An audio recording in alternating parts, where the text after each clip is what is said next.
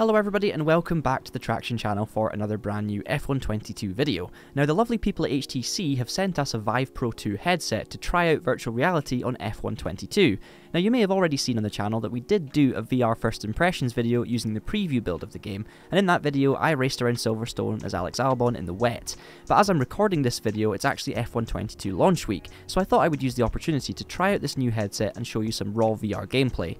Now I decided to jump in an F2 car around Montreal and make it rain just as a way of testing out the gameplay experience under some graphical strain, and also I wanted to try out the F2 car for the first time. Of course, it's also worth bearing in mind that this is the 2021 season of F2 cars, drivers and liveries, the 2022 season should come around at some point soon.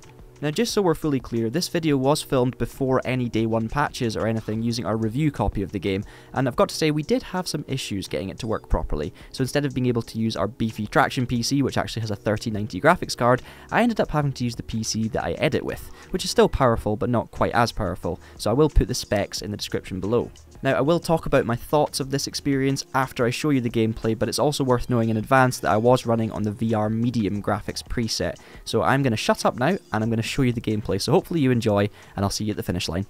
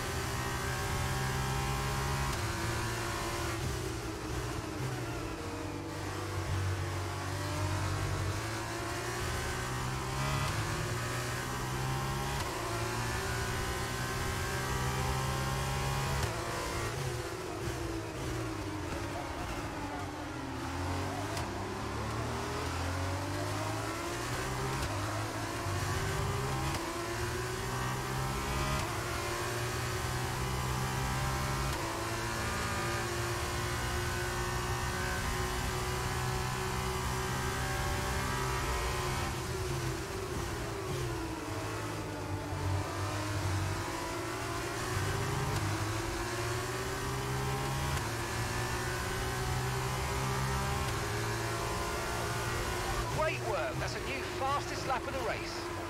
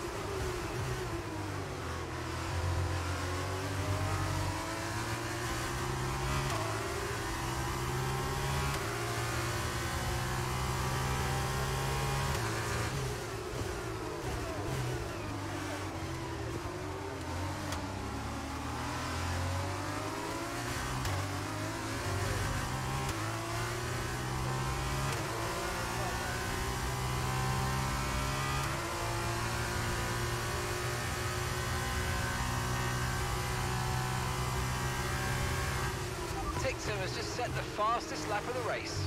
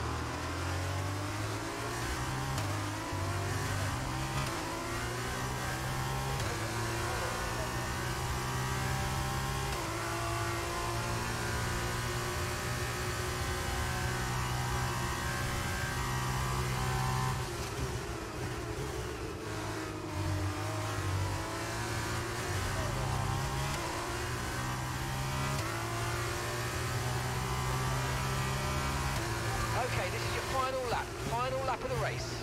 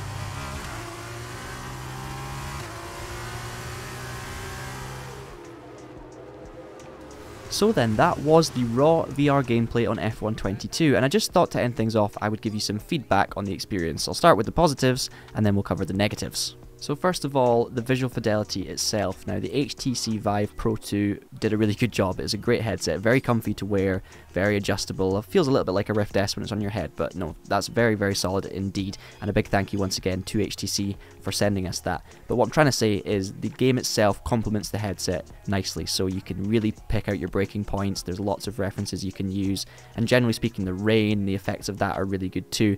Bearing in mind I was on medium as well, and I will get to why shortly but generally speaking, visually, it was pretty impressive. However, I've got to say, performance wise, it was let down a little bit. And, you know, the version of the game I'm playing, I've got to reiterate, this is the review version, so it's not quite final, but it's very close to being final. And I had a lot of issues with hardware. First of all, just getting it to run smoothly on certain PCs was a major issue. As I said in the intro, I ended up resorting to my editing PC to finally get it all to run smoothly. Now, that's not necessarily the game's fault, but it should really just work out the box with multiple different devices, especially with PCs as powerful as our main recording PC.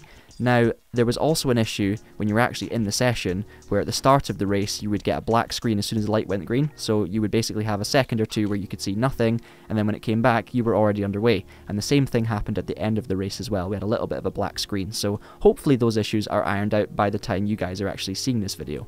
In terms of the frame rate, well, that was the main reason why I had to run on the medium graphics setting, because basically in the wet, with plenty of cars on the go, using that PC, I could not maintain a solid frame rate with high or ultra high graphics settings. Now, even on medium, I was experiencing quite a lot of frame drops, as you probably saw during the video. It wasn't fully smooth at 60 or anything like that, throughout the video. Um, there were certain areas when it got a little busy that things began to chug a little bit, so I was having to run on medium just to be able to kind of manage a nice race. So that was a bit of a negative, but again, hopefully these things are kind of ironed out a little bit when the game actually launches, and I'm sure that they will be working very hard to make it as good as possible. And with the beefier PC, I reckon you could get away with running high graphics. To be honest, even in time trial mode with no other cars on the track, I'd have probably gotten away with it on high.